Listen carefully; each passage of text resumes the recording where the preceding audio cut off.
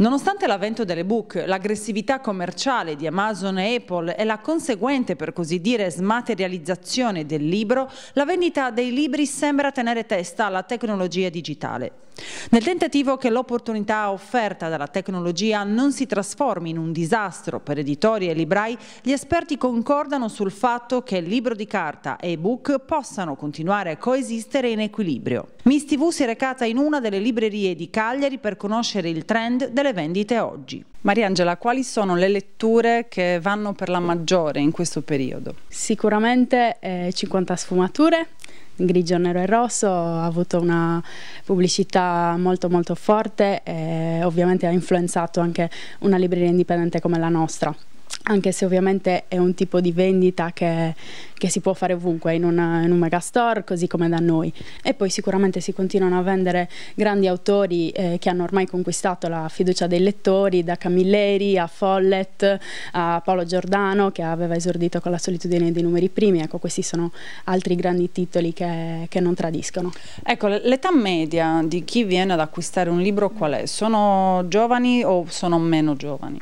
Mm, ma diciamo che è abbastanza varia perché eh, lavoriamo molto anche con i ragazzi, con la letteratura, col fantasy tantissimo, con la saga di Martin, le cronache del ghiaccio del fuoco e poi anche um, adulti sicuramente.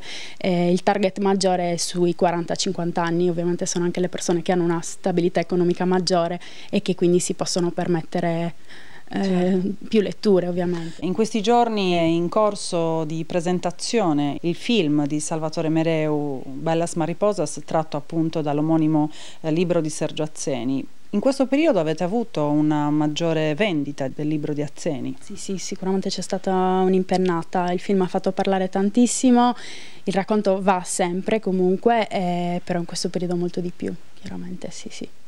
Mentre per quanto riguarda il genere che più esce dalla libreria, qual è? Che so, il noir? Mm, ma non solo, anche i romanzi comunque ehm, un po' più diciamo sentimentali, quelli che toccano un po' di più eh, la sensibilità delle persone. La pubblicità mediatica è quella che eh, funziona di più, che ha più eh, potere sicuramente e poi tanto anche il passaparola tra lettori. Mariangela, c'è un titolo che ti sentiresti di consigliare agli amici di Miss TV per magari avere lo spunto per un pensiero natalizio? È sicuramente un classico perché quelli non muoiono mai e meritano tantissima attenzione, Notre Dame de Paris di Victor Hugo e poi invece tra le novità l'ultimo di Pennac che è originalissimo, Storia di un corpo della Feltrinelli.